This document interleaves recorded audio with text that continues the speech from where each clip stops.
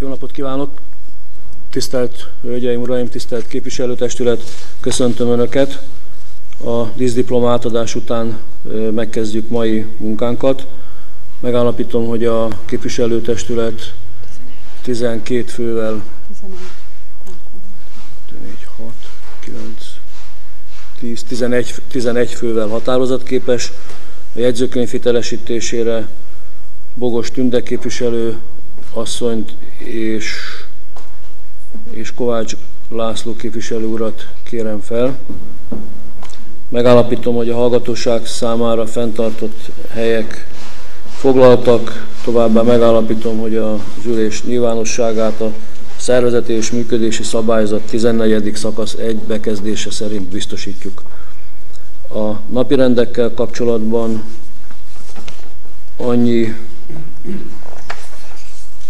kiegészítésem van, hogy a, az eredetileg hármasnak jelölt napirendet az előterjesztés a Széchenyi tér három szám alatti ingatlan tulajdoni viszonyának rendezéséről szólót, azt tárgyaljuk 15-ként,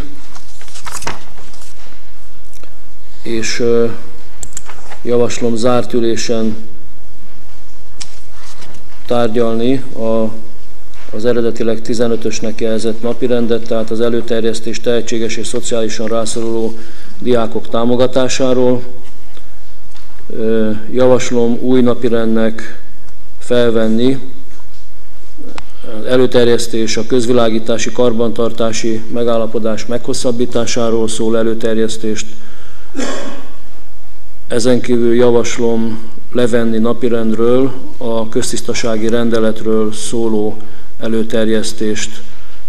Ennek indokául azt hozom fel, hogy bár tehát igyekeztünk alaposan a rendelet szöveges részét összerakni, de hiányzik még egy-két kiegészítő dokumentum. Úgy gondolom, hogy a társasházak környezetének tisztántartása, rendben tartása még nem elég exaktul szabályozott, ez még különböző elsősorban feltétlenül térképi munkarészek hiányoznak.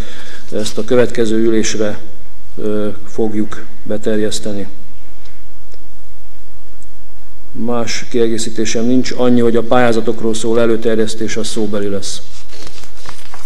A napirendekhez akkor ezek, kérdezem, hogy a képviselőtestületnek van-e más javaslata, kiegészítése. Amennyiben nincs, úgy kérem, aki a napirendeket az elhangzott kiegészítésekkel elfogadja, szavazzon. Köszönöm, egyhangú volt a szavazásunk. A, az ülésünket szokás szerint a beszámolóval, két ülés közti eseményekkel, az átruházott hatáskörben hozott döntésekkel kezdjük. Ugye hosszú időszak után kerül sor a mai testületi ülésünkre. Volt esemény bőven a, az előző ülés és a jelenlegi ülés között. Ezeket a, az előterjesztés röviden röviden tartalmazza. Különösképpen nem térek rá ki, legfeljebb annyiban, hogy ugye több rendezvényt is szerveztünk, tartottunk, többségét sikerrel, eredménnyel, eredményesen, nagy érdeklődés mellett sikerült lebonyolítani. Talán egyet kivéve a Szüreti Fesztivált, amelynek egyrészt az időjárás volt az oka, másrészt itt is meg kell jegyezem, hogy bizonyos érdektelenséget tapasztaltunk a, a, elsősorban a borászok részéről, tehát az önkormányzat kivételével más nem is jelent meg a termékeivel, a boraival. Meglátjuk következő években, hogy alakul, mert hasonló érdektelenség mellett lehet, hogy felül kell vizsgálnunk ennek a rendezvénynek a létjogosultságát, helyszínét, egyebeket. A határozati javaslatok között szerepel egy a, a Délkom Nonprofit Kft-vel kapcsolatos ö, döntések meghozatalának a jóváhagyása, erre ugye a képviselőtestület engem korábban felhatalmazott. A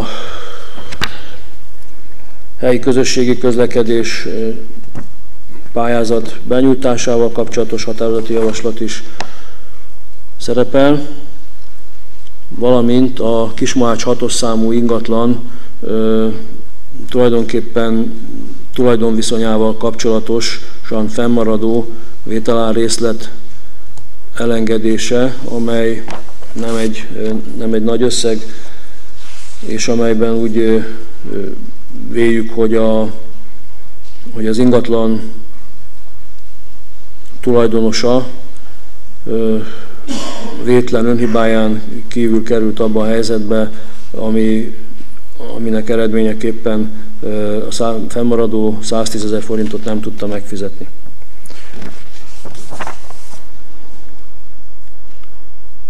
Ezen kívül tájékoztatásul szeretném elmondani, hogy a képviselőtestület döntött arról, hogy, hogy kísérletet teszünk a volt posta ingatlan megvásárlására, de olyan feltételekkel, hogy még augusztus 31 -e előtt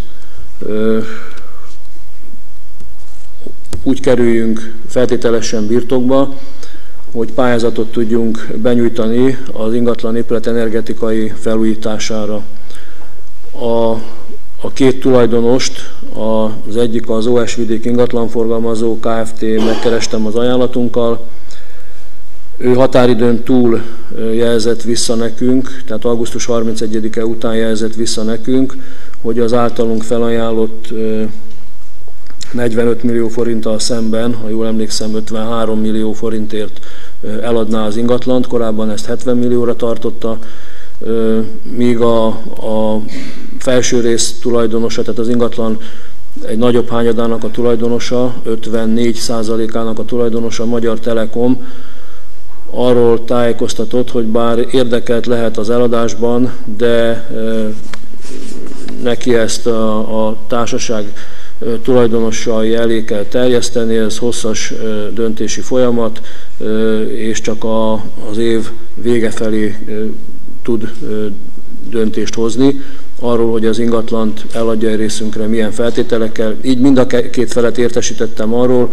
hogy számunkra egyenlőre érdektelen az ingatlan megvásárlása, mivel ugye az volt a feltételünk, hogy, hogy az épületenergetikai programra be tudjuk nyújtani a pályázatunkat. Ehhez augusztus 31 -e előtt kellett volna érdemi megállapodásra jutni, ez nem, nem sikerült, így egyenlőre nem látom értelmét, indokoltságát annak, hogy a megvásárlásba belefogjunk tekintettel arra, hogy, hogy a vételáron felül még igen jelentős felújítási költség merülne fel. Tudom, hogy az ingatlan helyzete, állaga, állapota az többeket bosszant, irritál, hogy itt a városközpontban a felújított polgármesterhivatal és és a, a kormányhivatal épületek között egy ilyen lerobbant és egyre rosszabb állapotba kerülő ingatlan helyezkedik el, de hát e, azért az észszerű határokon túl úgy gondolom, hogy nem érdemes áldozni erre az ingatlanra. Tehát egyenlőre ezzel ez a helyzet. Más kiegészítésem nincs a napi rendhez képviselőtestületnek. Kovács László képviselő úr. Köszönöm szépen a szót, polgármester úr. Szeretném tájékoztatni polgármester urat és a képviselőtestületet, hogy a szerdai Kulturális Oktatási Sportbizottság előtt a város intézmény vezetőivel, általános iskola és középiskolás intézmény vezetőivel egyeztettünk, mert a városi ünnepségek négy éves beosztása lejárt. Megterveztük a 2019 és 2022-es városi ünnepségeket, hogy melyik iskolák rendezik. Köszönöm szépen a szót. Szépen. Más kiegészítés, Jaksi György képviselő úr. Köszönöm szépen a szót, polgármester úr. Én csak biztos egy elírás van itten, hogy eh, június 7-én nem a Mohácsi polgárok olvasóköre, hanem a Mohácsi sokacok olvasköre. Nem tudom, hogy ez mennyire fontos, de gondolom, hogyha rögzítve van, akkor úgy kellene helyesen kijavítani. Köszönöm szépen. Oké, okay, rendben. Van-e további hozzászólás igény? Amennyiben nincs, úgy javaslunk a szavazunk a határozati javaslatokról.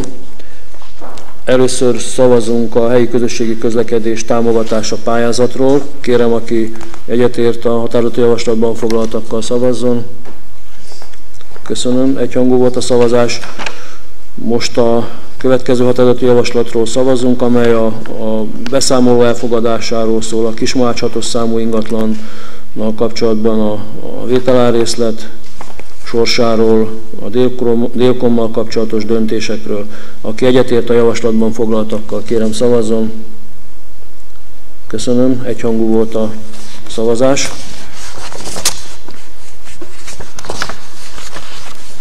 Következő napi rendünk a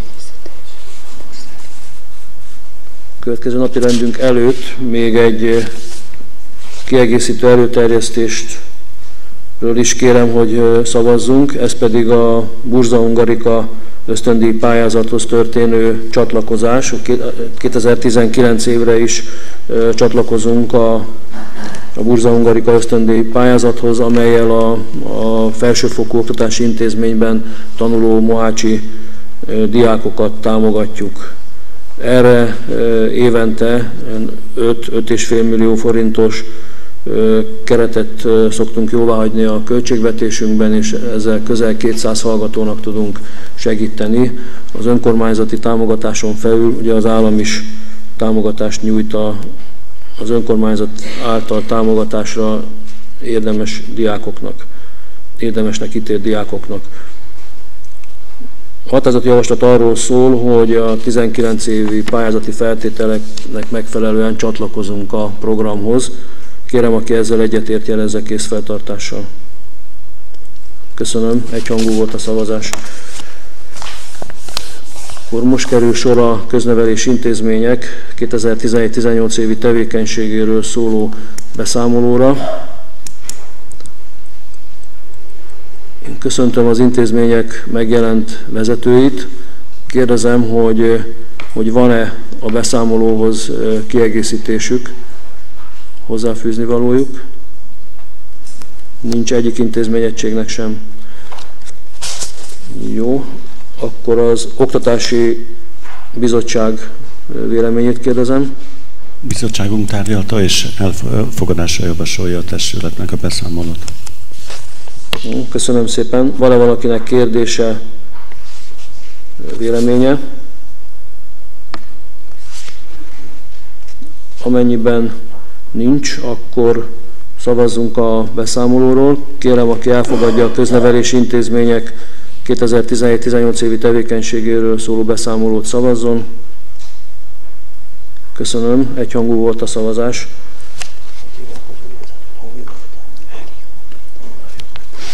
Jó, szavazás után arról szeretném tájékoztatni önöket, hogy Rip Istvánné igazgatóasszony megbizatása lejárt, az óvoda központ vezetését Hári Honvéd Anita vette át eredményes pályázat, pályázatát követően. Én itt arra szeretném kérni önöket, hogy Rip Istvánénak köszönjük meg a hosszú éve, éven át tartó vezetői tevékenységét, munkásságát, amelyeket az óvodák vezetése, vezetésében végzett, úgy a gyermekek nevelésében és az óvodák fenntartása, fejlesztése terén végzett tevékenységét köszönjük meg és ismerjük el. Kérem, aki ezzel így egyetért, az jelezze készfeltartással. Köszönöm szépen, egyhangú volt a szavazás.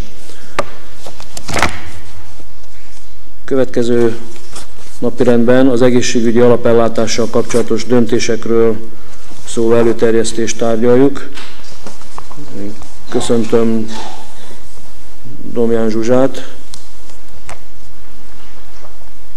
az intézmény vezetőjét, és megkérdezem, hogy van-e kiegészítésed. Nincsen. Szociális és Egészségügyi Bizottság véleményét kérdezem. A Szociális és Egészségügyi Bizottság tárgyalta napi rendi pontot, és a határozati javaslatot és a rendelet módosítást elfogadásra javasolja. Pénzügyi Bizottság. Pénzügyi bizottság is tárgyalta és elfogadásra javasolja a határozati javaslatot. Kérdése, véleménye van-e valakinek? Amíg esetleg gondolkodnak, a... tehát egyrészt szeretném elmondani, hogy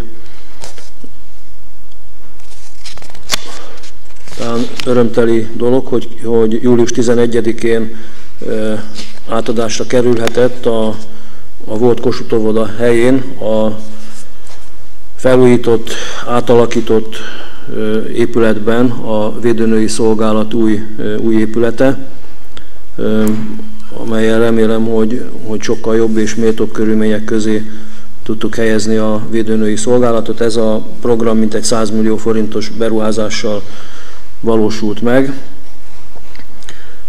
Ennek következménye is, hogy, hogy mivel új, új székhelyre került az intézmény, ezért ezt át kell vezetni a különböző megbízási szerződésekben, feladatellátási szerződésekben, és ezzel együtt mindjárt akkor sortejtünk a különböző szerződések vonatkozásában az időködben bekövetkezett jogszabályi változások átvezetésére.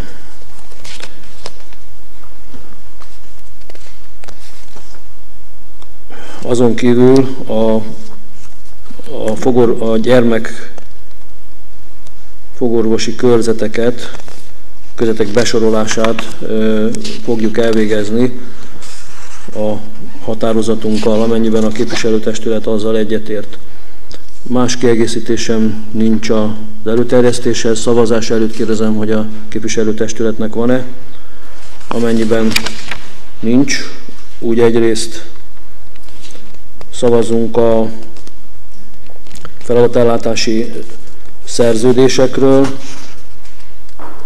Kérem, aki egyetért a feladatellátási szerződés előterjesztés szerinti felülvizsgálatával, módosításával szavazzon.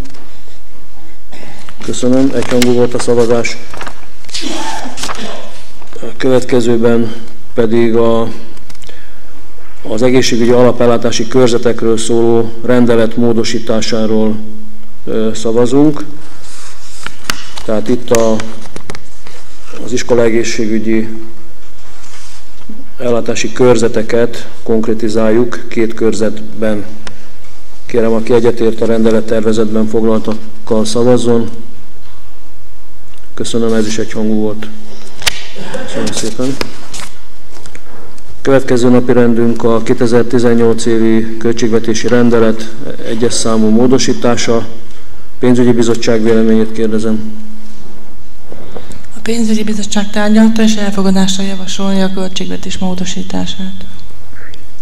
Kérdés, vélemény van-e? Amennyiben nincs, akkor röviden annyit, hogy ugye februárban fogadtuk el a ez évi költségvetési rendeletünket, 13 milliárd 111 millió 840 ezer forint mérlegfőszeggel.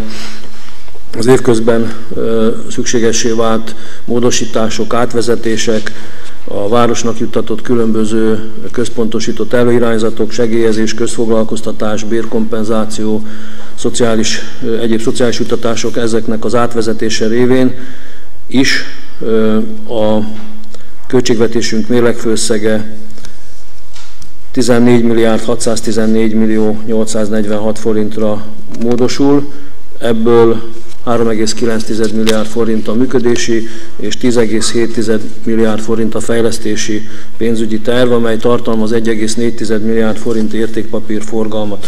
A, ezen felül ugye még az önkormányzatunk felel is gondoskodik a szociális otthonok működtetéséről, fenntartásáról, fejlesztéséről, ezek a Mohácsi Többszélú Kistérségi Társulás fenntartásában működnek, míg a, az óvodáink és a bölcsöde, a Mohácsbár Homorú Csátorhely Székely-Szabar köznevelés intézmény fenntartó társulás fenntartásában működik. Tehát ezeknek a, a költségvetési főszege az nincsen benne, a még említett 14,6 milliárd forintba. Ilyen, ha ezeket is figyelembe vesszük, akkor több mint 16 milliárdra adódna a, a az általunk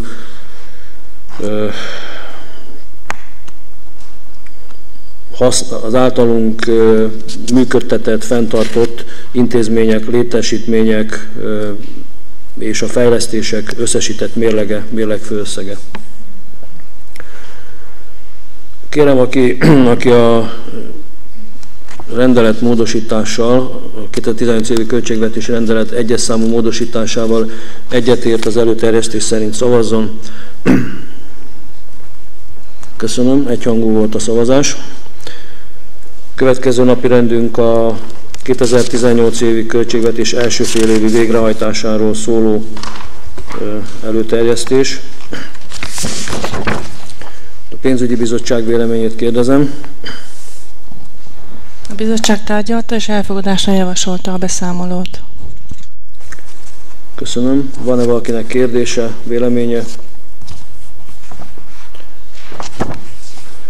Gyakorlatilag a, a bevételi kiadási főszegek az előzőekben ismertetett, előző napirendben ismertetettek szerint alakultak. Nagyjából a, a korábbi években megszokott a, a különböző költségvetési fejezetek időarányos teljesítése, a, ahol, ahol elmaradás van, az szokás szerint az a, az a fejlesztési programok végrehajtásának a költsége. Az egész biztos, hogy, hogy nem lesz százszázalékos évvégére sem, hiszen a, az összes fejlesztési programunkat beállítottuk a teljes bekerülési költséggel. Ezt már a költségvetés elfogadásakor is látni lehetett, hogy, hogy ezeket ebben az évben nem fogjuk tudni befejezni és, és lezárni. Tehát ez a költségvetés készítésének a, a sajátossága. Azt gondolom, hogy, hogy évvégéig el tudunk jutni odáig, hogy, hogy 50%-ot meghaladóan teljesülnek a tervezett fejlesztési kiadásaink, és az már igen jó eredmény lesz. Van-e hozzászólás igény a napirendhez? Amennyiben nincs, úgy kérem, aki a költségvetés első fél évi végrehajtásáról szóló beszámolóval egyetért, azt elfogadja, jelezze készfeltartással. Köszönöm, egyhangú volt a szavazás. Következő napi rendünk a Baranyavíz ZRT-vel kapcsolatos döntésekről szóló előterjesztés. Köszöntöm Csolák István vezérigazgatórat. Kérdezem, hogy van-e valamilyen kiegészítés az előterjesztéshez. Ha van, akkor légy szíves, fáradj ki. Addig kérdezem a pénzügyi bizottság véleményét, amíg igazgató úr kiér. A bizottság elfogadásra javasolja a határozat javaslatot mindkét pontban. Köszönöm.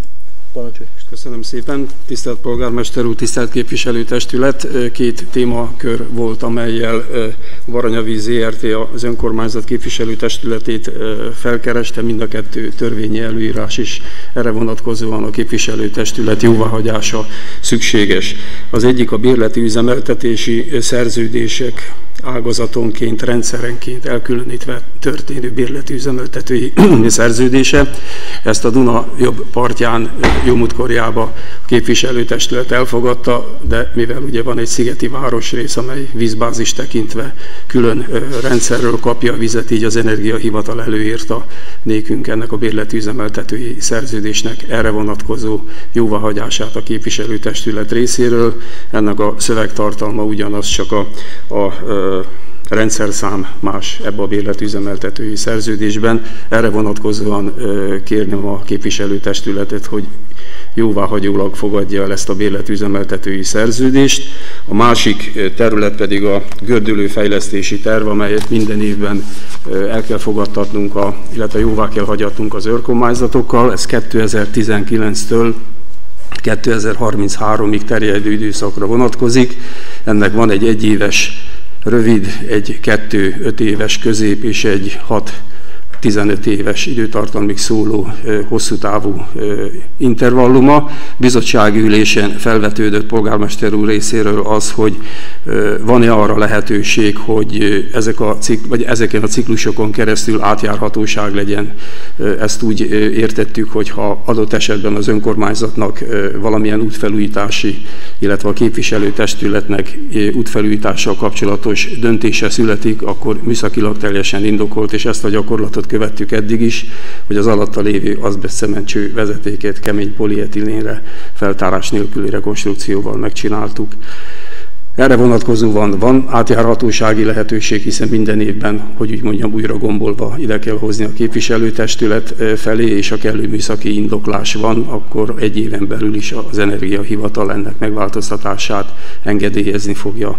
Erre vonatkozóan szintén kérném a képviselőtestületet, hogy a Baranyavíz ZRT gördülőfejlesztési tervét hagyja jóvá, ami Mohács vonatkozásában ugye beruházásra és felújításra, pótlásra vonatkozik, a Mohácsi üzemigazgatóság területén ez 3 milliárd forint, és a Baranyavíz ZRT vonatkozásában pedig 24 milliárd forint összegnagságrendi. Köszönöm szépen. Köszönöm szépen. Van-e hozzászólás igénye ez a napirendhez? Tehát meg, megpróbálom magyarról, magyarra lefordítani ezt a dolgot. Tehát egyrészt arról van szó, hogy a, a bérleti üzemeltetési szerződés határozati javaslatában egyrészt és az előterjesztett mellékletben megerősítjük a korábbi döntésünket, hogy 10%-os bérleti díj mellett, közműbérleti díj mellett adjuk bérbe, üzemeltetésre a Baranyavíznek a közmű rendszereinket, és azt is megerősítjük benne, hogy visszamenőlegesen nem kérünk semmilyen kompenzációt, nem kívánunk eltérni ettől a bérleti díjtől. A MEH felvetette annak a lehetőségét, esetőségét, hogy, hogy esetleg visszatérjenek az önkormányzatok a korábban alkalmazott magasabb bérleti díjra. Ezt a, a Baranyavíz működési területén önkormányzatok egységesen elhárították azzal, hogy tisztában vagyunk vele, hogyha ha eltérő bérleti üzemeltetési, tehát eltérő bérleti díjakat kérünk az üzemeltetésért, akkor akár tönkre is tehetjük a, a saját közösen birtokolt cégünket, tehát nem élünk ezzel az eszközzel. Ezzel ezt erősítjük meg ezen határozatban, és ezt az összes többi, több mint 190 település is tudomásom szerint jó része már megtette, és folyamatosan megteszi.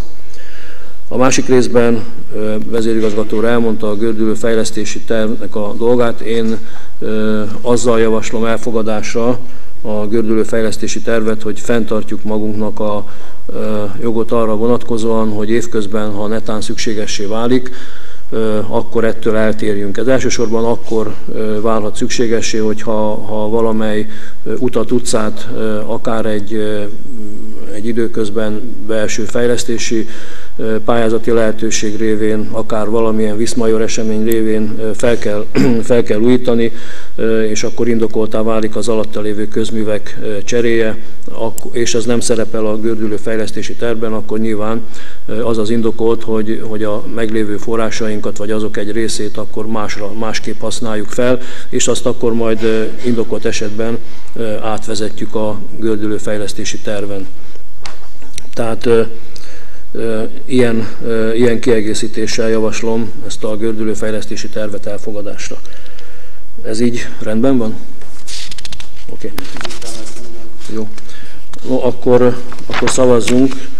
Szerintem, ha jól látom, akkor egy határozati javaslatban van a két, tehát egy javaslatban szavazunk, nem kettő, bocsánat. Akkor először szavazunk a bérletüzemeltetési szerződésekről szóló javaslatról. Aki egyetért a javaslatban foglaltakkal, kérem szavazzon. Köszönöm. A, egy, egyhangú volt a szavazás, és szavazunk a gördülő fejlesztési tervek elfogadásáról a elhangzott kiegészítéssel, amelyet elmondtam, nem kívánok megismételni. Aki így egyetért vele, kérem jelezze készfeltartással. Köszönöm, egyhangú volt a szavazás. És köszönöm.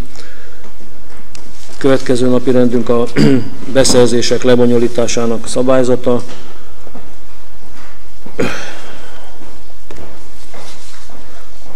Aktuálissá vált az előző beszerzési szabályzatunk felülvizsgálata.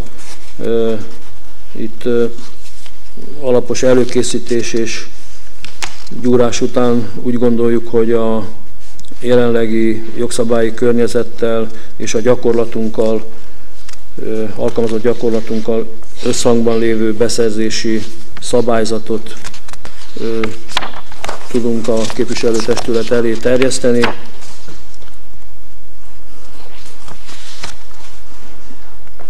Pénzügyi bizottság véleményét kérdezem.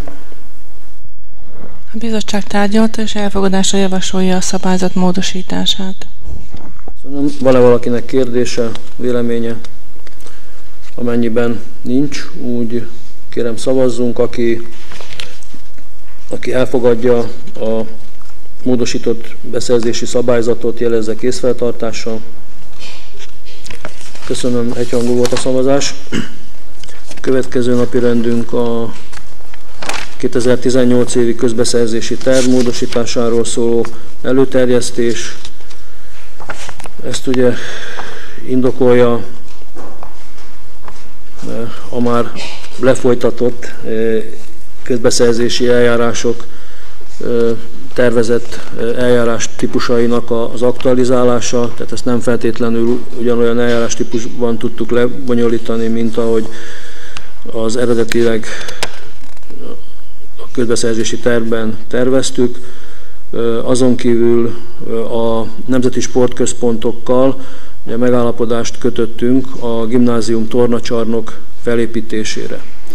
A gimnázium tornacsarnokot konzorciumi konzorciumban, egy konzorciumi szerződés alapján valósítjuk meg a nemzeti sportközpontokkal.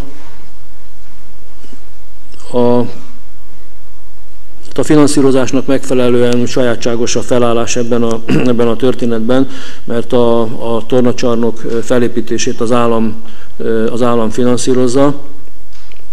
Ő bonyolítja le a, a közbeszerzési eljárást, annyiban, hogy ebben a közbeszerzési eljárásban folyamatban az önkormányzatunk is részt vesz.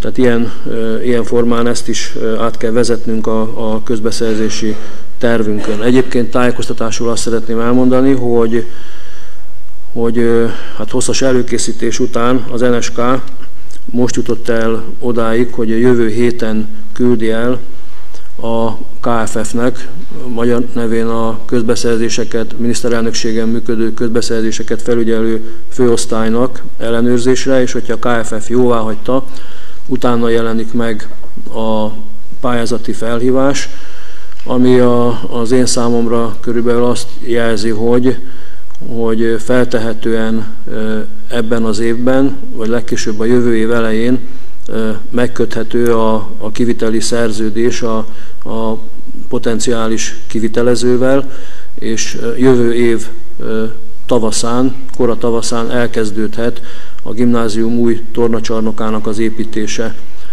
Ez a, a gimnázium mögött az MTE volt csalakos pályáin e, kerül majd kialakításra, kiépítésre. No, tehát ez a program is átvezetésre e, került a közbeszerzési tervünkben. Pénzügyi bizottság véleményét kérdezem. A bizottság tárgyalta és elfogadásra javasolja a határozati javaslatot. Van-e valakinek kérdése, véleménye? Kérem, aki elfogadja a közbeszerzési tervet, szavazzon. Köszönöm, egyhangú volt a szavazás. Következő napi rendünk a pályázatokról szóló előterjesztés. mint ahogy említettem, a szóbeli, szóbeli lesz, és, és rövid, ha megtalálom az anyagot, hanem akkor is csak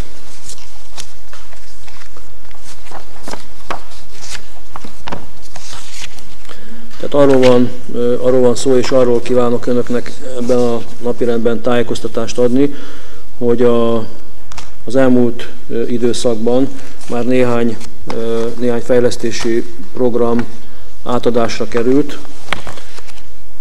Ilyen a napelem telep létesítése, egy napelem parkot létesítettünk az iparterületen az Ovit állomás mellett, egy 500 kVA-os 499 kW teljesítményű napelemes kiserőművet. Ez a beruházás ez 218 millió 650 ezer forintba, forintba került, és a tervek szerint, az elvárások szerint üzemel. A,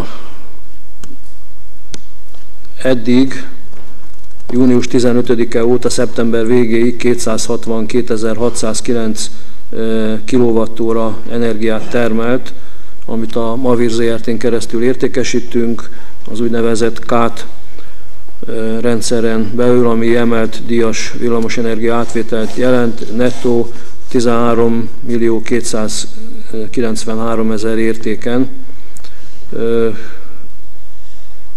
ami meghaladja egyenlőre a várakozásokat, de nem szabad azt gondolnunk, hogy ez mindig így lesz, hiszen ősszel télen kevesebbet süt a nap, nyilván kevesebbet fog termelni a, a napelem park.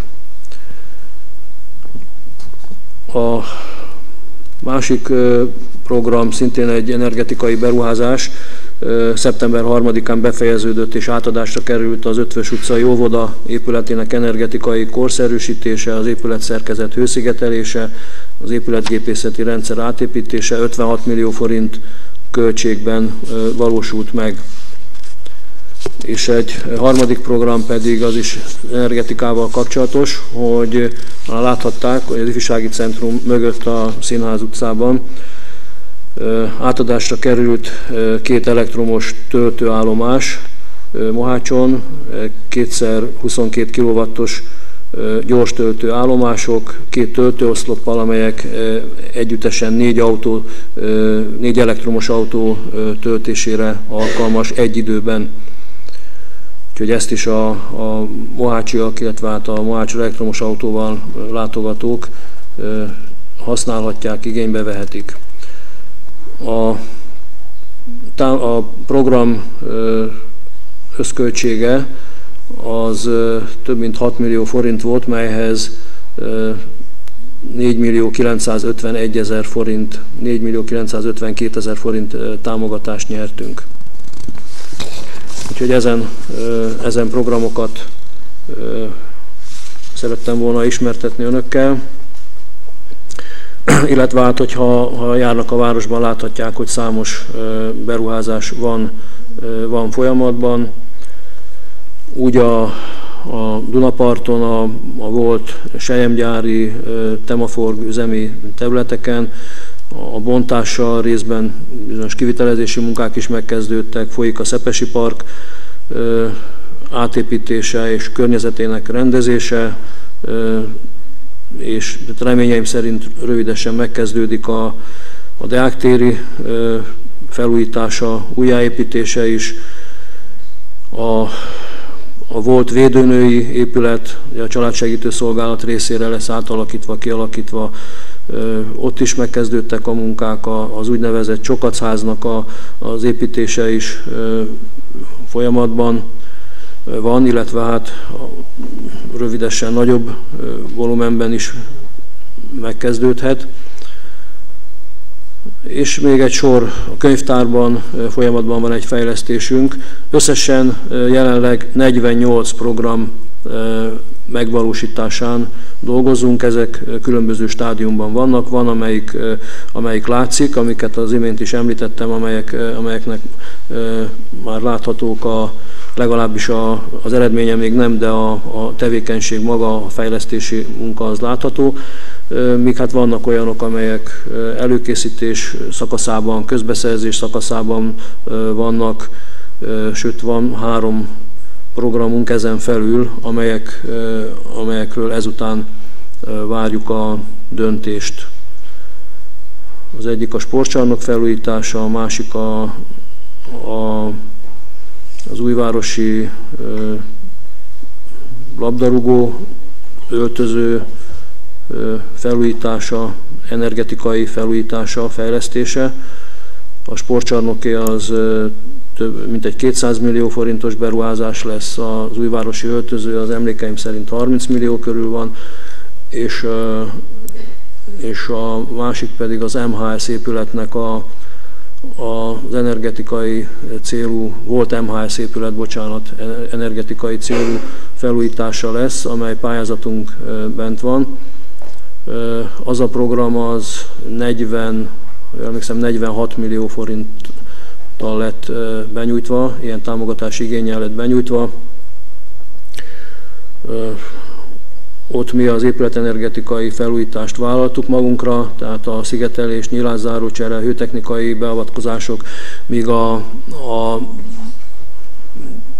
fogyatékosok foglalkoztatását megvalósító szövetkezet a belső felújítást tűzte ki célul és vállalta, vállalta magára. Úgyhogy összességében körülbelül szanzásítva a pályázatokról ennyit, ennyit kívántam elmondani. Van-e ehhez esetleg kérdés, hozzáfűzni való? Amennyiben nincs, úgy kérem, aki a tájékoztatót elfogadja, tudomásul veszi, szavazzon. Köszönöm, egyhangú volt a szavazás.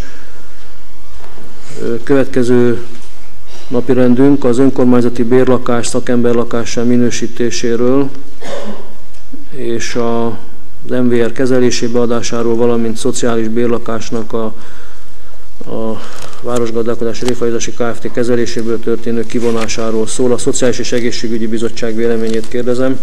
A Szociális és Egészségügyi Bizottság a határozati javaslatot elfogadásra javasolja. Pénzügyi Bizottság. Pénzügyi Bizottság is tárgyalta, és elfogadásra javasolja a határozati javaslatot. Köszönöm. Van-e kérdése valakinek véleménye? Akkor kérem, aki egyetért a javaslatban foglaltakkal szavazzon. Köszönöm. Egyhangú volt a szavazás. Következő napirendünk a rászoruló lakosság szociális célú tűzifa juttatásáról szóló előterjesztés. Ez már több éve folyó program, amelynél ugye mindig megállapítjuk, hogy az 5000 fő feletti települések sajnos nem kapnak ehhez állami támogatást, finanszírozást, csak az 5000 fő alatti települések, de, hogy a, a, mivel azért úgy ítéljük meg, hogy, hogy Mohácson is vannak ö, szociálisan ö, rászoruló emberek, akik tűzifa támogatásra érdemesek, vagy legalábbis rászorulók, és hogy ők ettől a lehetőségtől ne essenek el, ezért az önkormányzat minden évben a saját forrásai terhére nyújt támogatást a, részükre a szociális helyzetük figyelembevétele mellett. Javaslatunk az, hogy 10 millió forint keretösszeget különítsünk el a lakosság szociális célú tűzifa juttatásának biztosítására. Nyilván amennyiben ettől indokoltan többre lesz szükség, akkor azt újból a képviselőtestület elé terjesztjük. Kérdezem a Szociális és Egészségügyi Bizottság véleményét. A Szociális és Egészségügyi Bizottság a határozati javaslatot elfogadásra javasolja. Pénzügyi Bizottság. A pénzügyi bizottság is elfogadásra javasolja a határozati javaslatot. Kérem, aki egyetért a javaslattal szavazzon. Köszönöm szépen, egyhangú volt a szavazás. Következő napi rendünk a szakemberlakás bérlő kijelöléséről szóló előterjesztés. Pénzügyi bizottság véleményét kérdezem. Bizottság elfogadásra javasolja a határozati javaslatot. Van-e valakinek kérdése, véleménye? Kérem, aki egyetért a javaslattal szavazzon. Köszönöm, egyhangú volt a szavazás.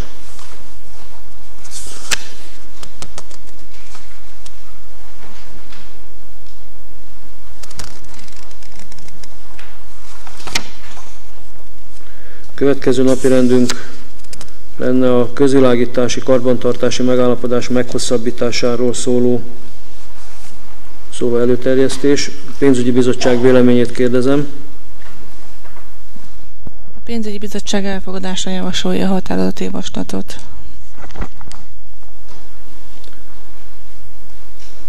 Köszönöm.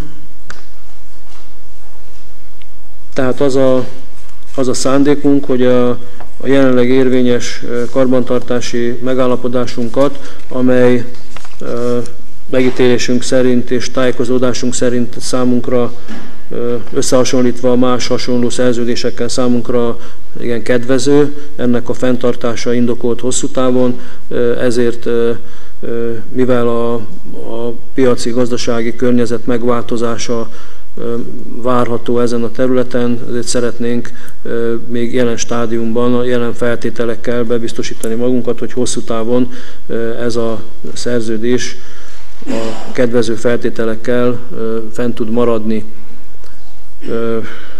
Nyilván úgy a karbantartási szerződést az érvényben lévő beszerzési szabályzatunkkal, illetve a közbeszerzési törvényre tekintettel tudjuk elfogadni, illetve hát az időtartamot meghatározni. Van-e valakinek kérdése, véleménye? Amennyiben nincs úgy, kérem, aki egyetért a javaslattal szavazzon.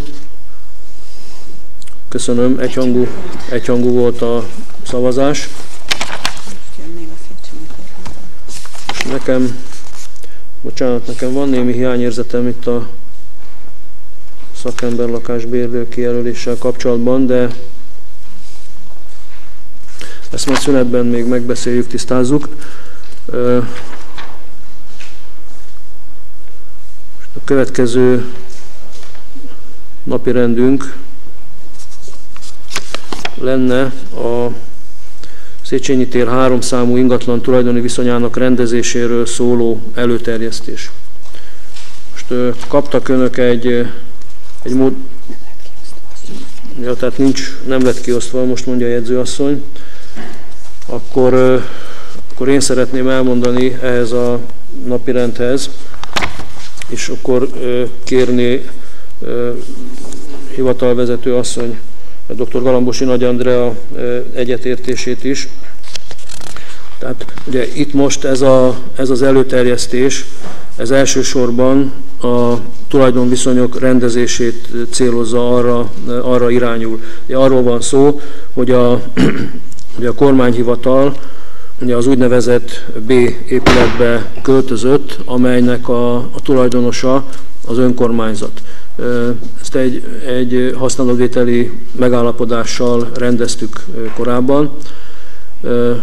Közben a magyar állam és a állami támogatásból, illetve hát a kormányhivatal pénzéből továbbfejlesztette ezt az ingatlant, elsősorban a földhivatal elhelyezésének a, a céljára, és így a, nyilvánvaló a ráépített ingatlan rész, mivel az nem a, nem a mi beruházásunk, nem a mi forrásainkból került megvalósításra, az, az a megállapodás értelmében az a magyar állam tulajdona lenne, és a kormányhivatal használatába kerülne. És a megállapodás még, még kitér arra, hogy, hogy abban a, az ingatlan, új ingatlan részben kialakításra került egy garázs, amelyet az önkormányzat használ tovább.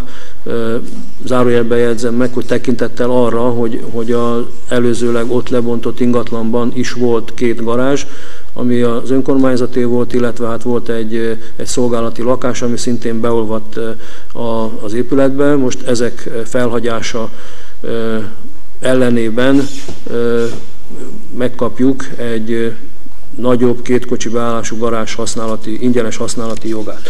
Tehát körülbelül erről szól ez a, ez a tervezet, de ugyanakkor nem rendezi az üzemeltetéssel kapcsolatos egyéb, egyéb dolgokat, ezért az a javaslatom, hogy ez a megállapodást tervezet, ez az előterjesztés kerüljön elfogadásra, ugyanakkor azzal, hogy, hogy a következő ülésünkre hozzuk, hozzuk vissza az üzemvitellel, üzemmeltetéssel kapcsolatos kérdéseket, mert a 13-ban kötött megállapodásunknak van egy, van egy pontja, ami a közműdiakról szól, és itt van több olyan közműdíj, amelyet megosztva fizetünk, tehát úgyhogy mi tovább számlázunk, de itt most már az lenne a, a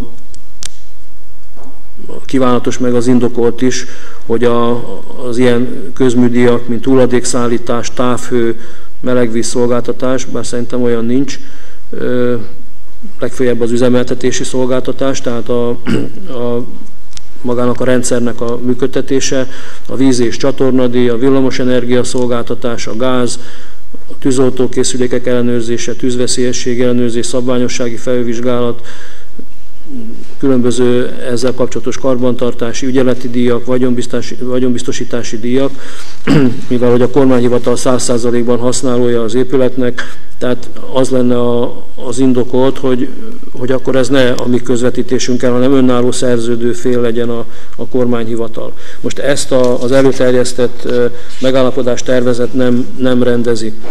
A, én megmondom őszintén a bizottsági ülésen, ülésen szembesültem ezzel a, az előterjesztéssel.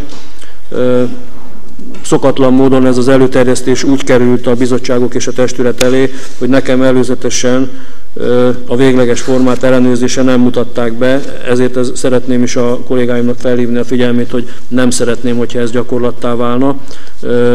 Igazából gondolkodtam is rajta, hogy levetessük napirendről, de mivel a kormányhivatalnak, tehát az államnak fontos, hogy ez időben végmenjen, ezért én azt javaslom, hogy az üzemeltetéssel kapcsolatos ügyek miatt hozzuk vissza, hozzuk vissza előterjesztésre Hát a bizottsági ülés után kértem, hogy akkor vizsgáljuk csak felül ilyen szempontból ezt a, ezt a tervezetet.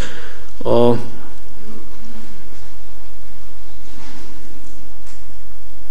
tehát így, így, hogyha ezt jóvá hagyjuk, akkor rendezzük a, a tulajdoni helyzetet, ezt a garázs használatot, a többit, többit azt pedig a későbbiek során rendezzük, hogyha ez így, ez így megfelelő.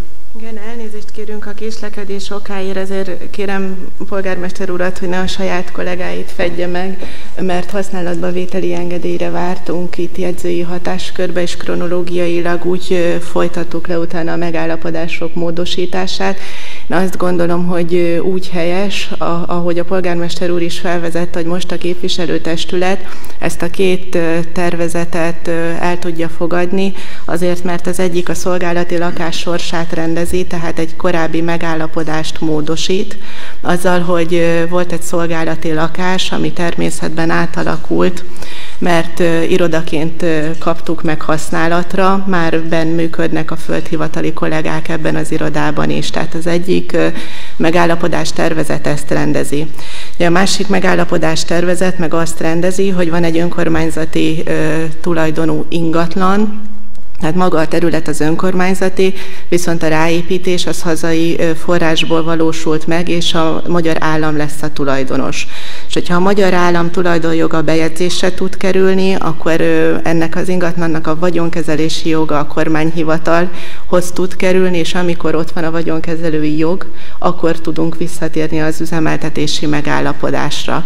És akkor valóban, tehát ez a közös elképzelés és a közös érdek is, hogy akkor a meglévő olyan történetekről, hogy a, a riasztórendszernél van átszámlázás, akkor talán a, a telefonokat, azokat már megoldottuk, de valóban van, van több közüzemi ö, olyan dolog, amit még innen számláz nekünk a polgármesteri hivatal. De én azt gondolom, hogy ez a két megállapodás tervezett révbe ér, akkor utána az üzemeltetési megállapodáshoz is hozzá tudunk nyúlni és tudjuk rendezni. Jó.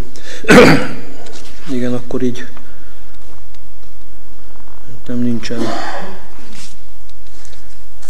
Nincsen akadály annak, hogy az előterjesztett formában elfogadásra kerüljön, azzal, a, azzal e, egészíteném ki akkor a határozati e, javaslatot, hogy legyen a határozati javaslatnak egy harmadik, harmadik pontja, ami azt tartalmaz, hogy a képviselőtestület felhatalmaz arra, hogy a 2013. április 10-én kötetett üzemeltetési megállapodás módosításának, tehát felhatalmazza a módosítás előkészítésére és a képviselőtestület soron következő ülésre való előterjesztésre. Tehát gyakorlatilag akkor ez a három határozati javaslat lenne. Azt kérdezem, hogy ugye most a testület előtt ez a módosított előterjesztés van, mert hogy tehát tartalmazzák a tehát javaslatok azt, hogy a kormányhivatal vagyonkezelésébe kerül, illetve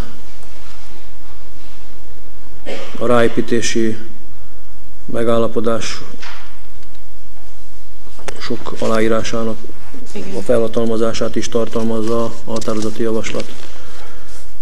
Van-e kérdése vagy hozzászólási igénye valakinek ehhez? Amennyiben nincs, úgy, úgy szavazunk, tehát azzal, hogy a határozati javaslat két pontja mellett, akkor van egy harmadik pont is, amiben felhatalmazást kérek arra, és kapok arra, hogy, hogy az üzemeltetési megállapodást felvizsgáljuk, és a felvizsgált megállapodást újból ide terjesszük a testület elé. Aki egyetért vele, kérem szavazzon. Köszönöm, egyhangú volt a szavazás. Köszönöm, köszönöm szépen.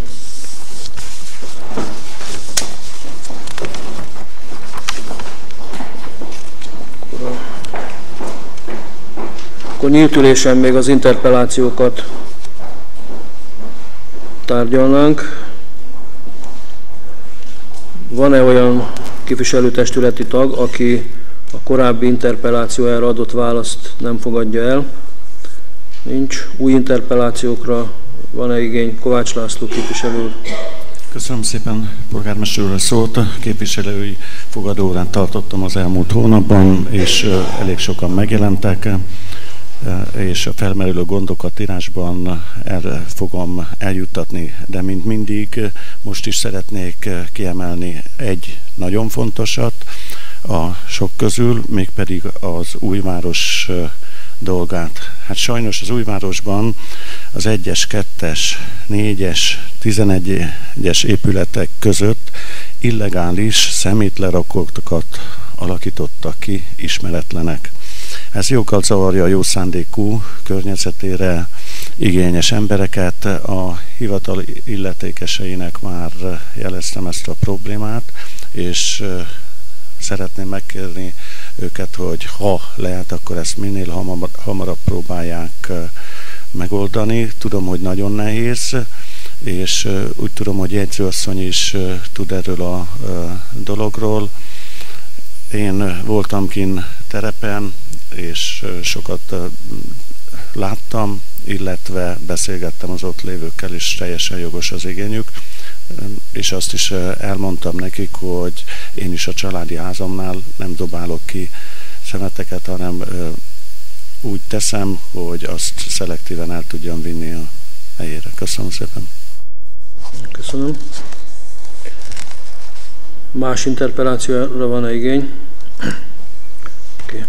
Tehát ezzel a interpelációval kapcsolatban azért szeretném elmondani, hogy a, nyilván az önkormányzat felügyeli és felel a közterületek rendjéért, de nem tudunk mindenhová közterületfelügyelőt állítani, nem, meg rendőrt sem tud állítani a kapitány úr, és én azt gondolom, hogy hogy ez nem csak az önkormányzatnak a feladata és a dolga, hanem aki ilyet lát, akkor az tegye meg az észrevételt, a feljelentést, a bejelentést, mert partnerok nélkül nem tudjuk, nem tudjuk megakadályozni azt, hogy, hogy ilyen illegális lerakók is, is keletkezzenek.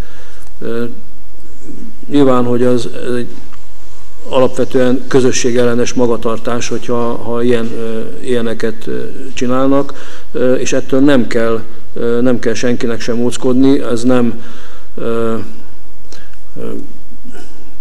úgymond az a rossz értelembe vett feljelentgetés, hogyha, hogyha az, ilyet, az ilyet bejelentik, hanem, hanem ez a környezet megóvása, megvédése érdekében tett szükséges intézkedés. És itt szeretném elmondani gyárt azt a közvéleménynek is, hogy nem tudunk minden illegális hulladék lerakót felszámolni. Ne legyen senkinek sem olyan illúziója, hogy, hogy az önkormányzatnak azért van, hogy, hogy rossz szándékú emberek szemetelnek, eldobálják a hulladékokat, akkor mi azért vagyunk, hogy a következő héten ugrunk, és a kollégáimnak az a dolga, hogy képviselői bejelentésre, akkor azonnal szaladjanak, és esetleg ők szedjék össze a, a szemetet, vagy, vagy szedessék, szedessék össze a szemetet. Elsősorban ez felelős polgári magatartás kellene, hogy, hogy, hogy társuljon ez az egészhez, nem, nem pedig az, hogy akkor mutogatunk az önkormányzatra, hogy na tessék a hulladékot összeszedni, vagy, vagy összeszedetni nem különösen most, hogy a hulladék szolgáltatás rendszere alapvetően megváltozott, ez nem egy egyszerű történet, igen költséges, költséges dolog, és, és nem, is, nem is egyszerű. Tehát, hogyha nem akarjuk azt, hogy a, hogy a városunk szemetes legyen, alapvetően nem, nem jellemző, de hát azért sajnos én is látom, hogy van, vannak olyan területek, akkor bizony ebben össze kell fogni a város lakosságának, és azokat, akik, akik nem hajlandók tudomásul venni, hogy, hogy vannak megfelelő környezetvédelmi szabályok, azokat akkor szankcionálni kell. Ezt fogja szolgálni az a rendelet, amit ma levettünk napirendről, de a következő ülésre behozunk, és sokkal szigorúbb szankciókat tartalmaz, és szabályozza azt is majd, hogy például ilyen helyen, mint az újvárosban a társasházak és a társasházak közösségének milyen rendfenntartással, köztetek tisztántartásával kapcsolatos feladatai, kötelezettségei vannak. Pontosan azért kértem ma levenni napirendről, mert szeretnénk ezt minél exaktabbul meghatározni, hogy egy-egy társasházhoz mekkora körzet tartozik, mely körzetért felel egy-egy társasház közössége. Hát, jegyzőasszony kér szót. Köszönöm szépen a szót. Egyetértve teljes mértékben a polgármester úrral, én még annyival szeretném kiegészíteni, hogy pontosan az interpellációban szereplő területet én is megvizsgáltam.